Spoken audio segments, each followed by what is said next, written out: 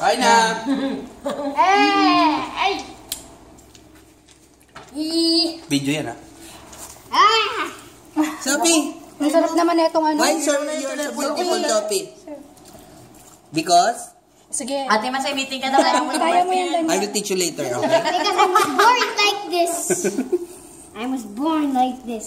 Ah, you born like that. Na, kakatapos lang ng linggo, linggo ng wika. Yung friend ko na, yung anak niya, Englishera, parang ito, hirap na hirap. Sa Pilipinas. Mm-mm. Kanina, ayaw niya pumunta. Sabi niya, ano, Kylie? Bala siya ka. Mo siya tumawag. Ayun, nandawag sa akin.